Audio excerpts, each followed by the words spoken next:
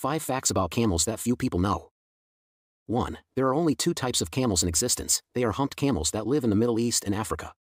And the two-humped camel lives in parts of Central Asia. 2. Biological characteristics. Camels live an average of 40 to 50 years. Camels are 1.85 m tall at the shoulder and 2.15 m tall at the hump. They are capable of running up to 65 km per hour in one go. Short time. And can maintain a speed of about 40 km per hour. 3. Value it brings. Not only are they used as riding and carrying animals, camels also serve as an important source of food for humans in the form of meat and milk. Camel milk contains 10 times more iron and 3 times more vitamin C than cow's milk. 4. When camels need to rehydrate before long trips, adult camels can drink 113 liters of water in just 13 minutes. 5. Suitable for the desert, long eyelashes, ear hairs, and closed nostrils help sand not affect camels at the same time. Their wide feet help them move without sinking into the sand.